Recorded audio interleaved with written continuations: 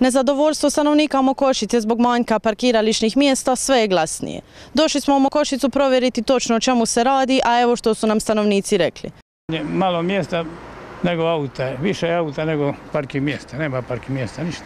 Općina tu treba da napravi nešto, ako može da napravi parking mjesta, malo. E, Najveći je problem što nema parking mjesta dovoljno i negdje bi ga trebalo napraviti. A gdje, to znaju stručnjaci.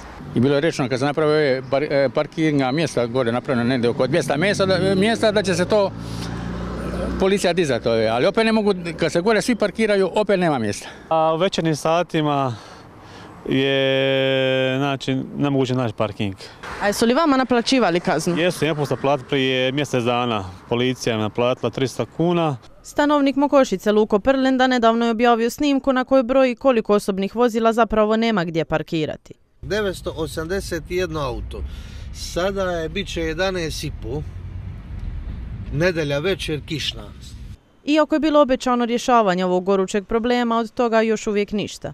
I to se zna već odavno, samo je meni smiješno što oni govore da šalju neke opomene kao nešto da će nama bolje učiniti, da će biti ovako onako, ali to je laž. Ne šalju nikakve opomene nego kazne, a i da šalju opomene, kakav smisao imaju te opomene ako je preko tisuću auta bez parkinga. To što oni iz policije govore, lažu sve, Prlenda ističe kako je problem najizraženiji u ulici od izvora.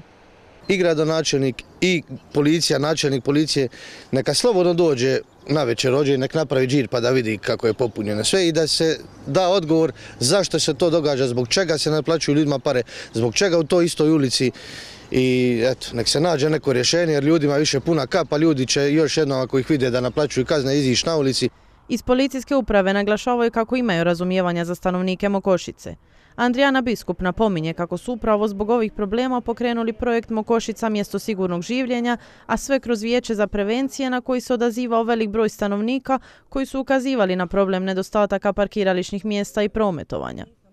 E, gdje su se pojavljivali kao osnovni problemi, problemi e, prelaženje, e, sigurno prelaženje djece preko pješačkih prijelaza, parkiranja na autobusnim stajalištima i na mjestima za invalide i nesmetani tok prometa javnog gradskog prijevoza.